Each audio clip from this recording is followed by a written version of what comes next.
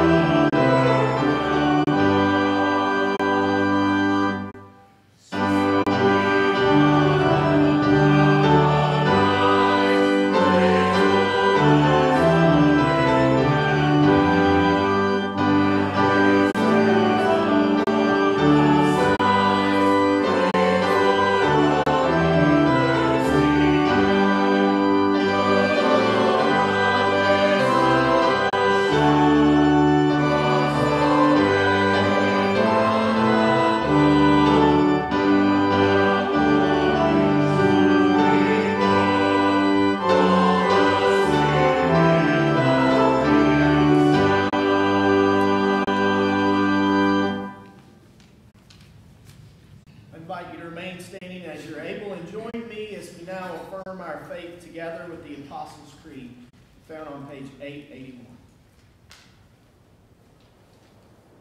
I believe in God the Father Almighty, maker of heaven and earth, and in Jesus Christ, his only Son, our Lord, who was conceived by the Holy Spirit, born of the Virgin Mary, suffered under Pontius Pilate, was crucified, dead, and buried. The third day he rose from the dead.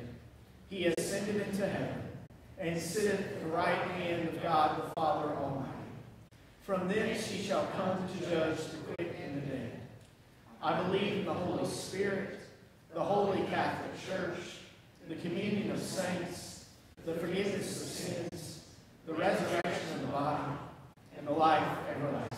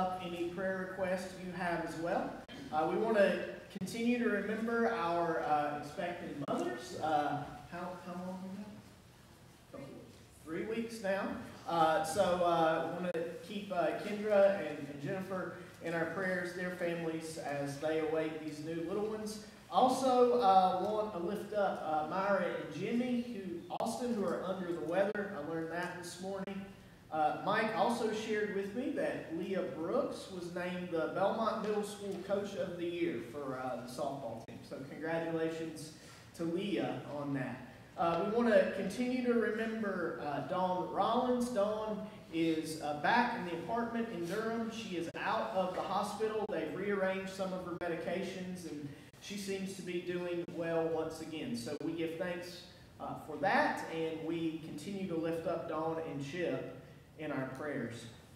We also want to remember Rod Hargis, uh, Mary Thomason, Brenda Lathan, Pam Wilson, and Celia Blackwelder, all who are uh, recovering from surgeries they've had over the last couple weeks. And we want to lift up Murphy Clark as well, who had a, a heart catheterization on Monday. And uh, they put in a stent, and, uh, and Murphy's doing great. He was here this morning. So uh, we give thanks for that as well. Other, uh, other prayer requests that you have today that you'd like to share? Uh, my cousin Fran Ellis. Fran Ellis. Thank you. Others?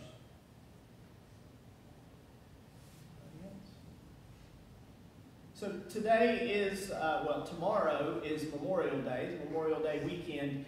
Uh, and as we, uh, we pray today, our, our prayer is offered on behalf of, of all of those who have made the ultimate sacrifice for us and for our, our nation. Uh, and so as we bow our heads, let us do so in remembrance of them.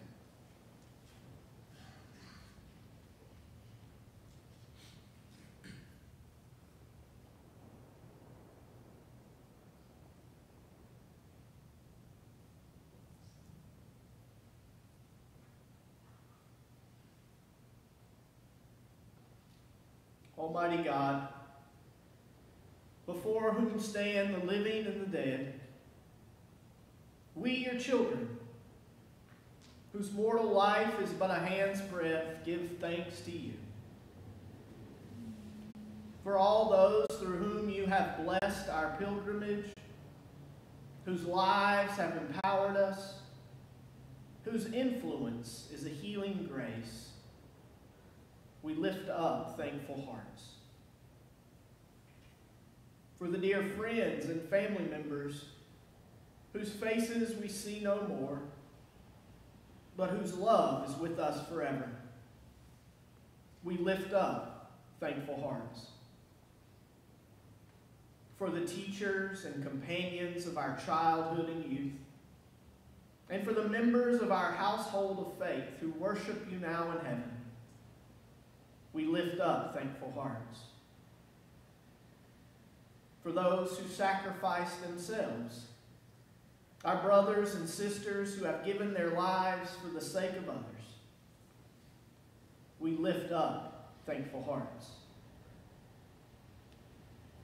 That we may hold them all in continual remembrance and ever think of them as with you in that city whose gates are not shut by day and where there is no night. We lift up thankful hearts. That we may now be dedicated to working for a world where labor is rewarded fear dispelled, and the nations made one. O Lord, save your people and bless your heritage. Day by day we magnify you and worship your name forever and ever.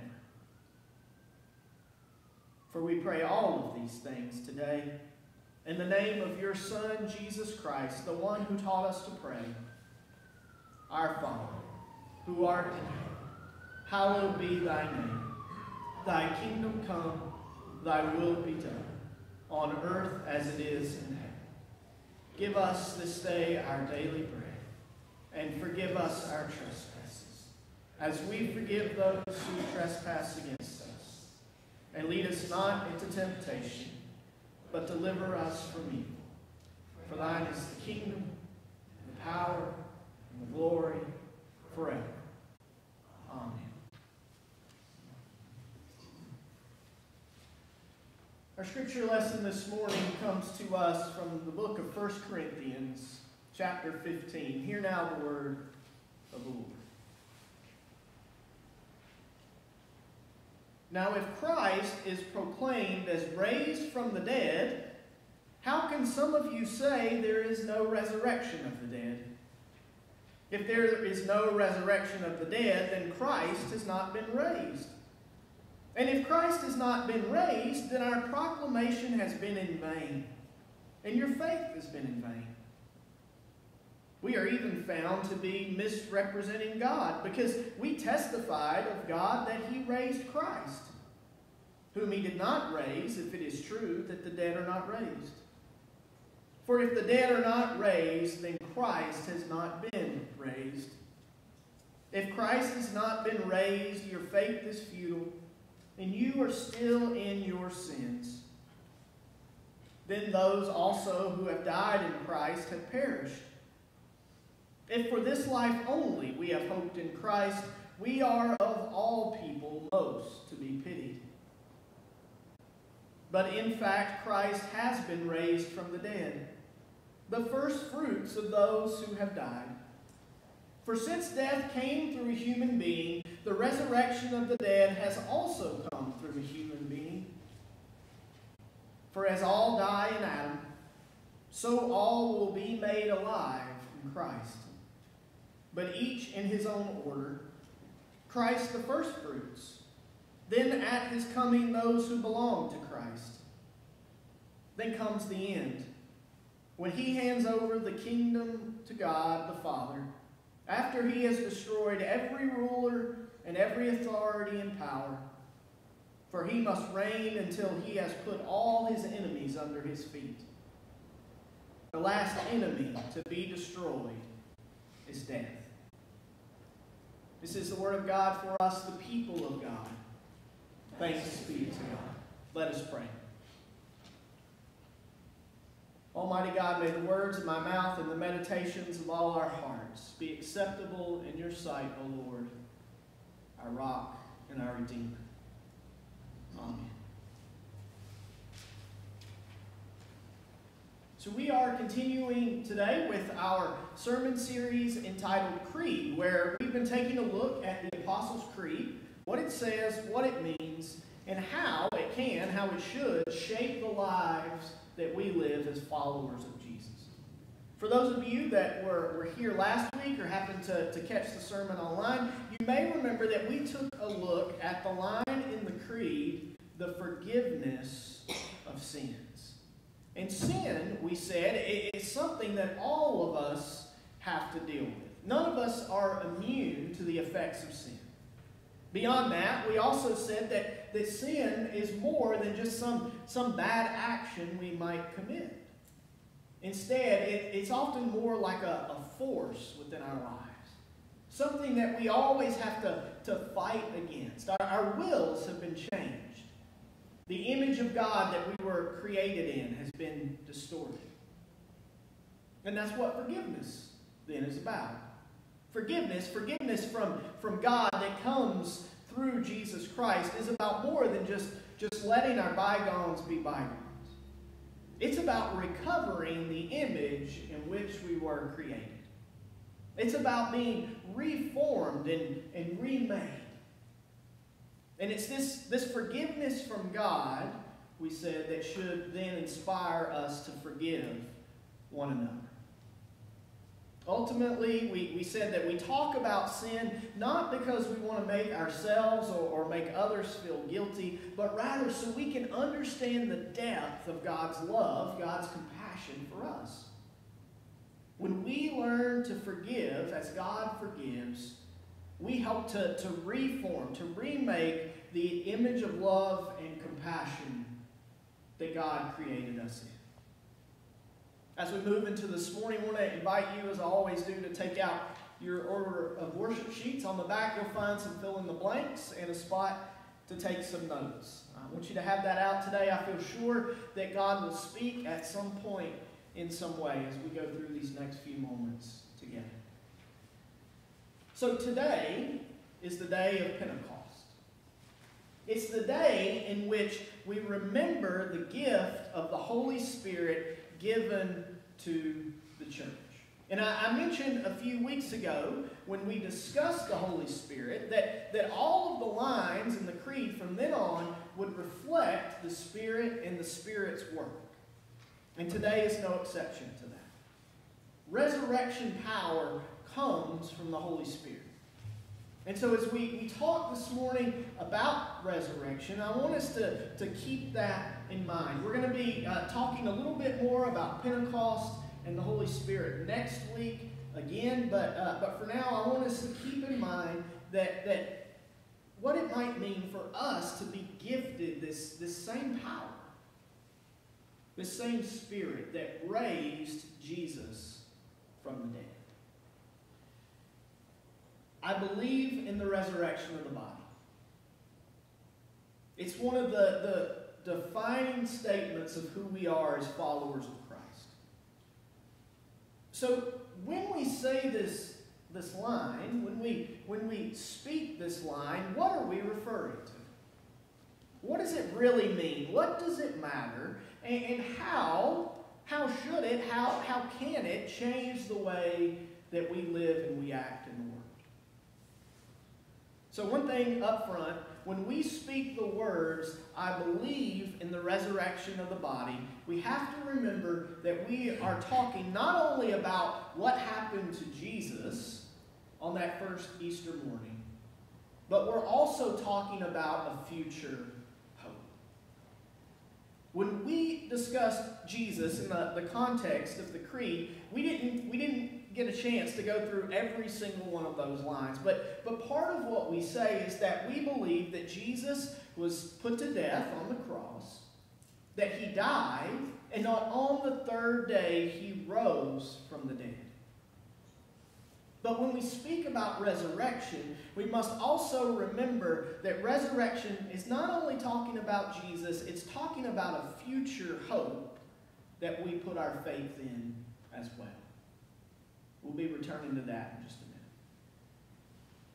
So, depending on where you look, what you read, how you were brought up, whether you, you grew up in the church, which church you grew up in, the resurrection might have uh, different meanings for you. Now, there's a lot of ideas and opinions that exist out there, and, and one of those opinions, one of those ideas is that, is that when we speak about the resurrection, we're actually speaking in metaphors. Somebody who has, has this opinion might agree that, that on the first Easter morning, something happened.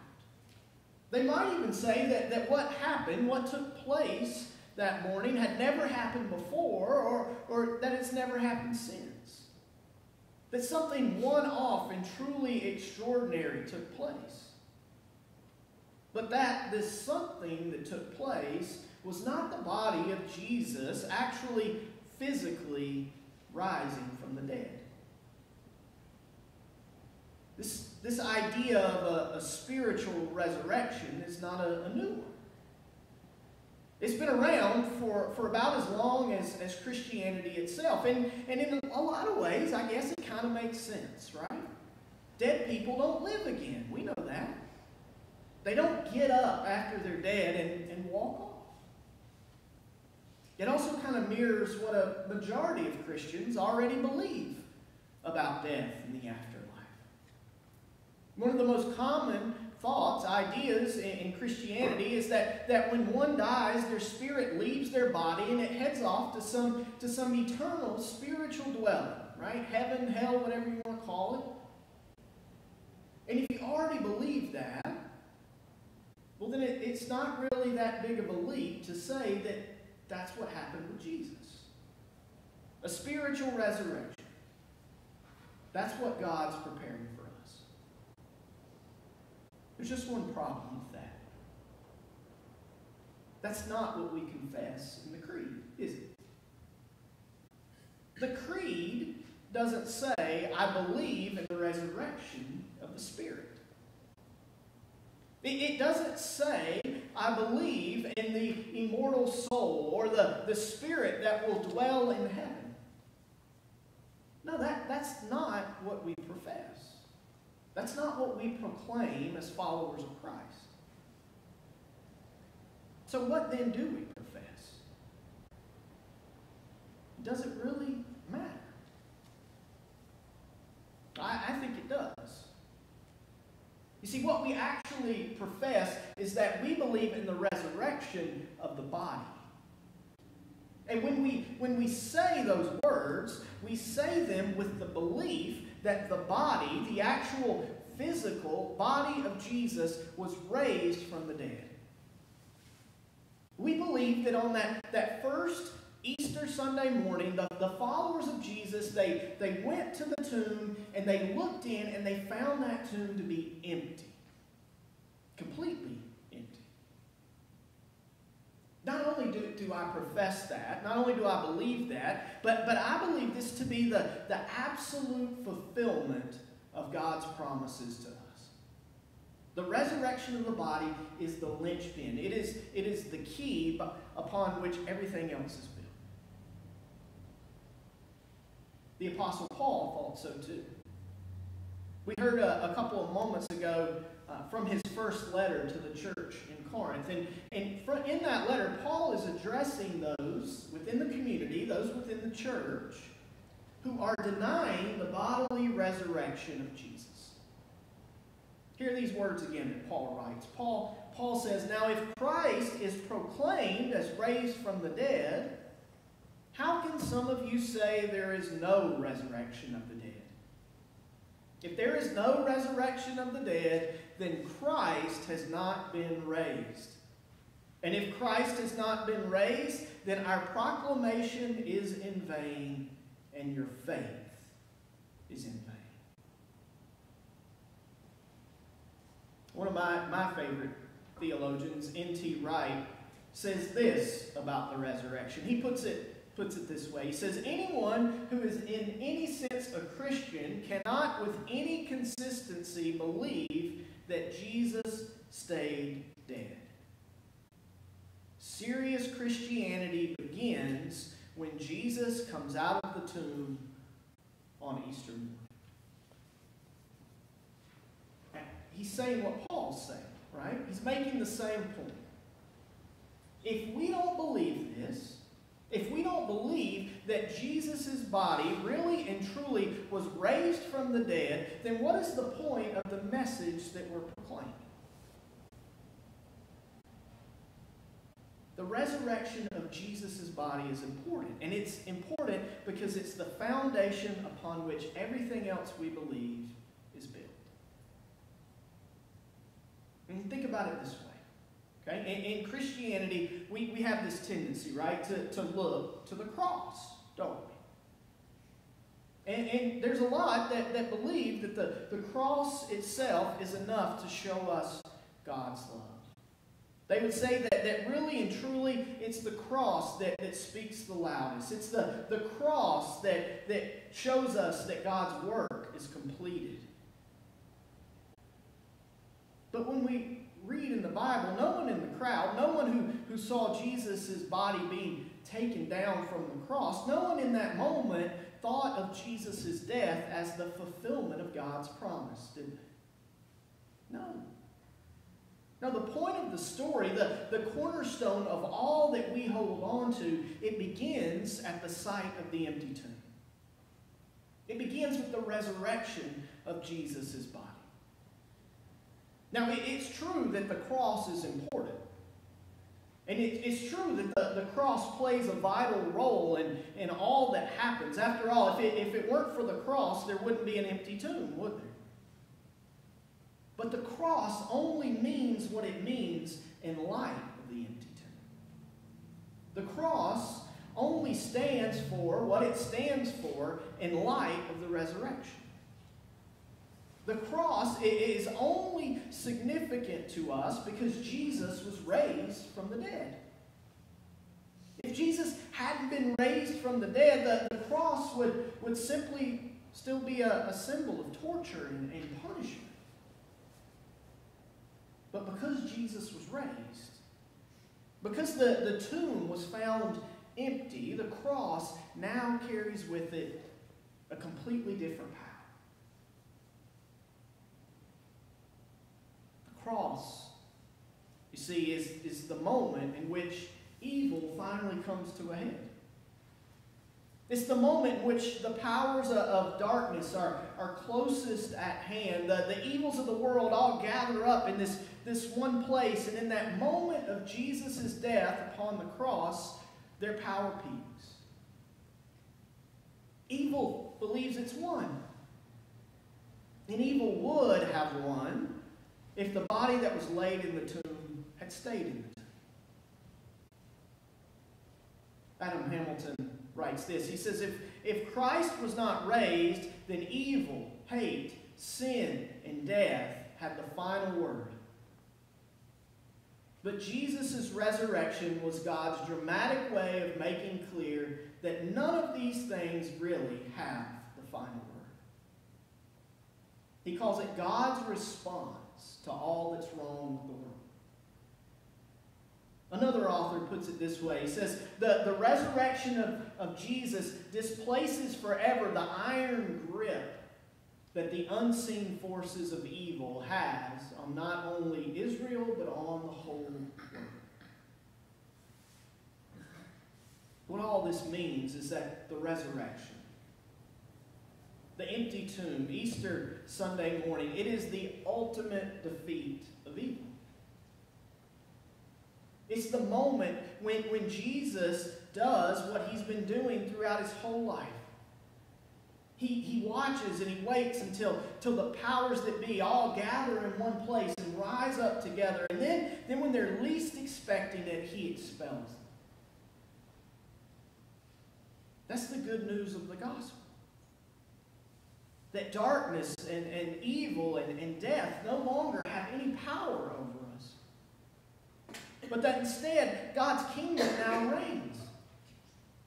The powers that be have been defeated, and God's, God's ultimate plan of making this kingdom on earth as it is in heaven has begun. If the tomb is empty, none of this makes any sense. It's why the resurrection of Jesus is so important because, because without it, all that I preach would be for naught. All that you proclaim would be for naught. The death of God's Son would be for naught. But this line about the resurrection of the body, it, it doesn't just apply to, to Jesus. Now, as I said in the beginning, it, it applies to us as well. It applies to a, a future hope that we have. We're not just talking about Jesus' body, we're talking about our own bodies. We as, as Christians believe that because Jesus was raised, that we too will one day be raised.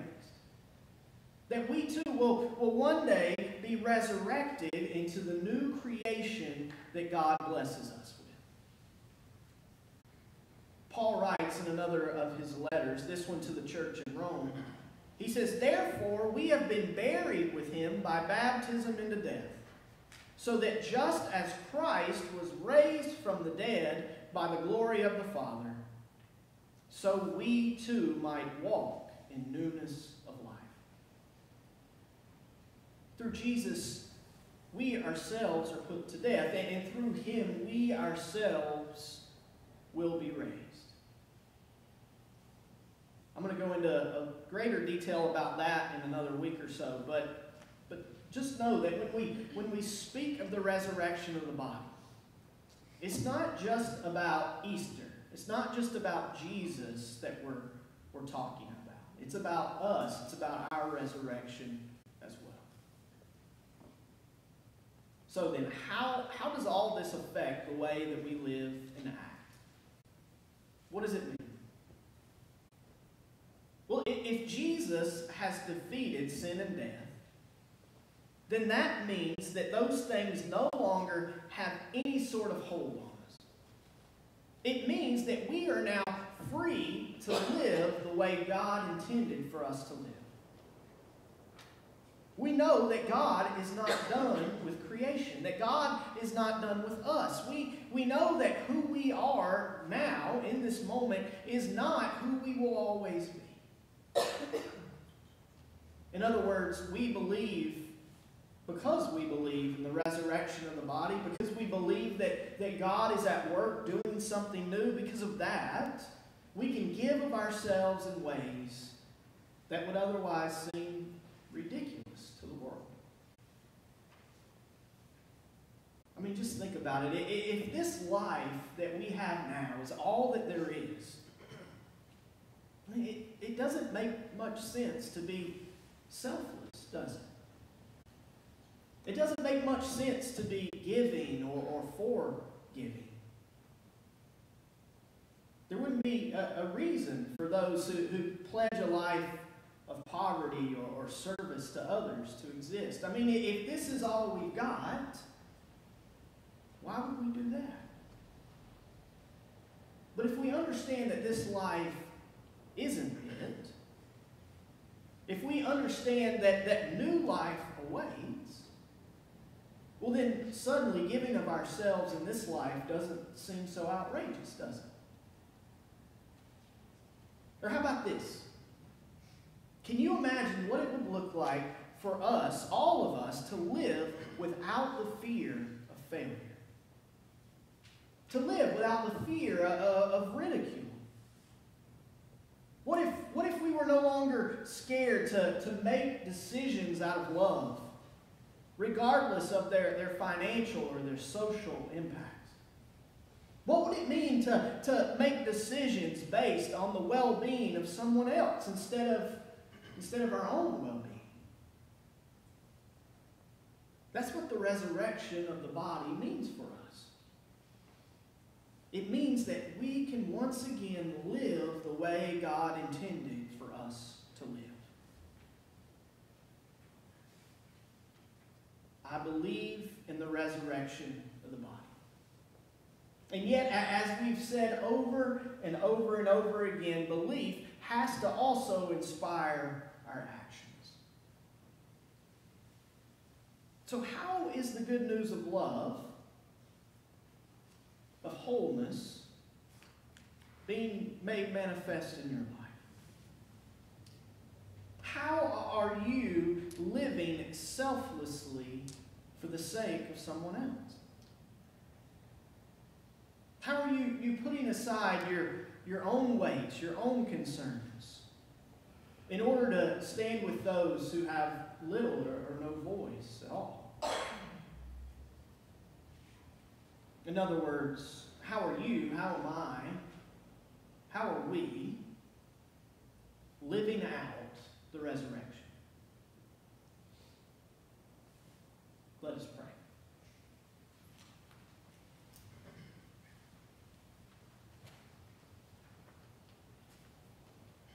Gracious Lord, we give you thanks for the promise of resurrection.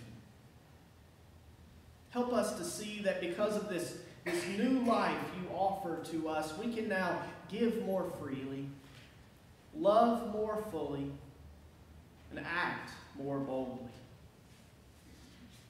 Lead us, Lord, to action. Action that speaks to the entirety of your love for us and for the world. For it's in Christ's holy name that we pray. Amen. I invite you now to please stand with me as we join in singing our hymn, number 369.